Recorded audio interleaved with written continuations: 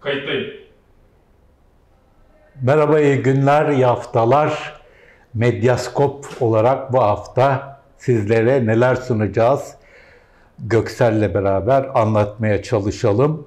Ee, tabii ki en önemli husus yarın yapılacak olan Erdoğan'ın CHP ziyareti, Özgür Özel'le buluşması o çok önemli bir olay olacak ve herhalde önümüzdeki hafta yani bu hafta ve önümüzdeki haftada diyelim bu konuyu çok ciddi bir şekilde konuşacağız değil mi? Elbette. Şimdi şu açıdan önemli. 2 Mayıs'tan sonra yapılan bir iade ziyaret söz konusu ama bir Cumhurbaşkanı'nın 18 yıl sonra CHP'ye gelecek olması da önemli. Konuşulacak başlıkların yanı sıra. Ama diğer yandan hepimiz e, o günden beri tartışıyoruz. Bir yumuşama kavramı çıkmıştı. Sonra Özgür Özel onu normalleşme olarak kendince yeni bir terimle ifade etti. E, sonrasında bir sürü gelişme oldu. O gelişmeler de şüphesiz masaya yatırılacak. Ama aynı zamanda Gezi davası, emeklinin e, zam hikayesi, e, asgari ücrete gelecek olan zam, Şen Yaşar ailesi gibi pek çok başlık, e, yeni çıkacak olan e, mecliste görüşü, yeni anayasa tartışmaları vesaire hepsinin yarın masaya yatması bekleniyor. Hakikaten son derece önemli. Biz de her aşamasını çok yakından izliyor olacağız. Evet şimdi bunları zaten yorumlayacağız da e, hemen hızlıca bir şey çıkması gerekmiyor. Yani beklenmiyor daha doğrusu ama bu buluşma başlı başına Çok önemli. sembolik olarak çok Tabii. önemli. E, geçen Özgür Özel e, ne demişti? E, bu normalleşmeyi eleştirenleri ciddiye almıyorum demişti. Çünkü çok eleştiren var. Çok e, onun yalın kılıç bir şekilde iktidarla kavga etmesini isteyen var. Hemen erken seçim çağrısı yapıp ortalığı ayağa kaldırmasını bekleyenler var. Ama o daha temkinli hareket ediyor ve e, bunu da sürdürecek. E, öncelikle beklenen Gezi ile ilgili bir şeyler bekleniyor. Kavala ile ilgili sanki eli kullandı. Zaten e, birkaç gün önce de e, bu anlamda Adalet Bakanlığı'na gitti. En son e, Kavala'nın avukatlarının talebi hükmün yeniden değerlendirilmesine yönelik talep. Bu aynı zamanda tüm Gezi davası dosyalarının da Adalet Bakanlığı'na gittiği anlamına geliyor. Eli kullandığı bir gelişme var gibi beklentiler genellikle o yönde. Tabii orada bir normalleşme, yumuşama olma ihtimali var ama kayyum meselesi Kayyum meselesi. çok ciddi evet. bir şekilde de e, bir taraftan aksiyan ayağı olarak gözüküyor ve CHP baştan itibaren Van'da olduğu gibi Hakkari'de de kayyum atamasına karşı geldi. Muhtemelen onu da konuşacaklardır. Önümüzdeki günlerde kayyum meselesiyle ilgili bir takım yeni gelişmeler olabilir. Hakkari meselesi bir anlamda kapandı gibi yani itirazlar yapıldı, protestolar yapıldı. Bir miting olacak ama e, Evet. DEM Parti'nin Dem Hakkari'de. Parti'nin mitingi olacak. Bir de Hakkari'deki e, diğer eş e, başkanının da olduğu bir oylama yapıldı. Meclis feshedilmiş olmasına rağmen feshedilen meclis kendi içinde toplantısını yaptı. Yasal prosedürün bu olmasına gönderme yaparak yerine vekaleten bir başkan atadı ama tabii resmi olarak bir karşılığı yoktu. Evet. Şimdi e, bu haftanın başka bir olayı tabii bugünden başlayarak Avrupa Parlamentosu'nda aşırı sağın yükselişi meselesi. Bugün 15'teki yayınımız kayda değer bu konuya odaklanacak esas olarak. Ayrıca bir takım özel yayınlarımız uzmanlarla olacak. Bu birçok açıdan doğrudan tüm Avrupa'yı ve Türkiye'yi çok ciddi bir şekilde ilgilendiriyor. Özellikle Fransa'da e, Macron'un meclisi lağvetmesi ve seçime gidilecek olması gibi gelişmeler Avrupa'nın en önemli iki ülkesinden birisi. E, gerçekten e, çok hassas ve bunu da bizim dış haberler servisimiz çok yakından takip ediyor. Uzmanlarla ve Avrupa'da yaşayan uzman isimlerle konuşarak e, bu olayı e, takip etmeye sürdüreceğiz. Başka ne var? Başka ne olacak? Sen gene bir röportaj yaptın.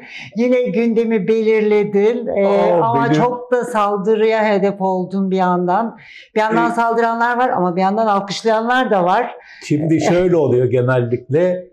Takdir edenler sessizce takdir ediyor, e, saldıranlar alenen saldırıyor. Saldıranlar sadece Fethullahçılar değil, başkaları da saldırıyor. Neden olduğunu da kestirmek şaşırtıcı değil. Benim şöyle bir ilkem var gazetecilik hayatımda. Birbirine düşman iki taraf birden size saldırıyorsa demek ki yanlış yapmıyorsunuz. Yani ben şimdi bazı isimler var onlar beni takdir etseydi bir tanesini hatta kendisine de sosyal medyada söyledim utanırdım yani. Yani onlardan destek geleceğine, takdir geleceğine derdim. Ama burada çok önemli bir husus var. Bu olay bu olayın aşağısı var bir de yukarısı var. Devlet daha çok aşağısına vurdu. Binlerce kişiyi mağdur etti Türkiye'de. Ama yukarıdaki insanlar kaçtı. Yani şöyle bir mantık, acayip bir şey.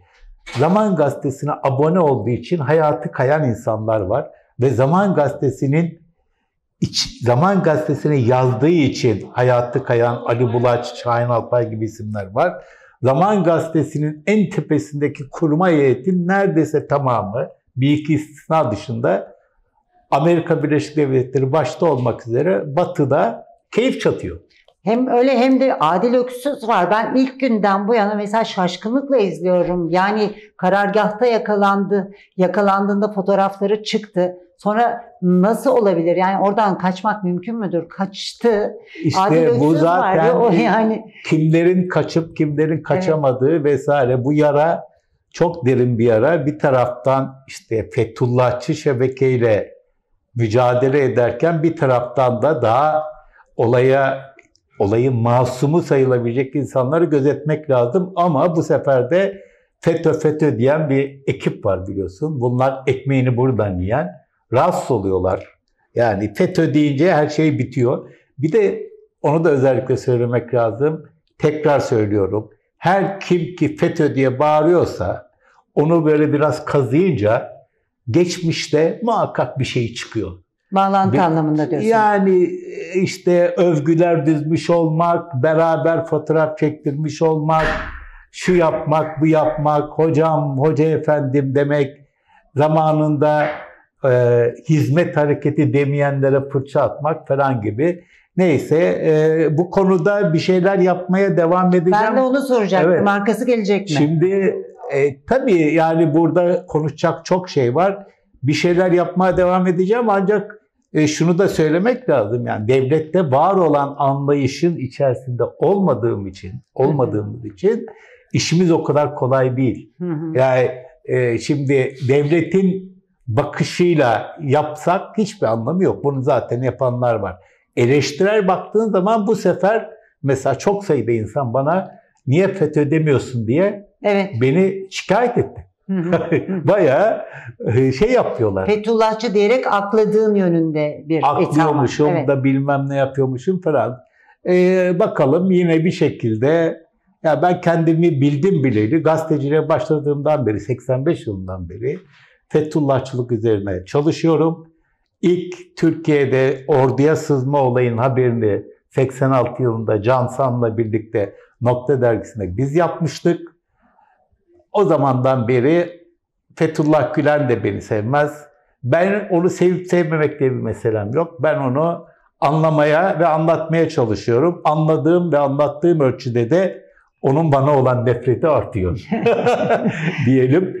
Evet, e, başka neler var? Ben bir süre İstanbul'da olmayacağım ama çalışmaya devam edeceğim.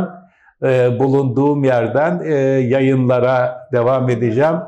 Ama esas yükü burada İstanbul, Ankara ve Diyarbakır'daki arkadaşlar sizler üstleneceksiniz. Biz de. Şimdiden e, kusura bakmayın diyelim. Noktayı koyalım. Bizi izlemeye ve bizi desteklemeye lütfen devam edin.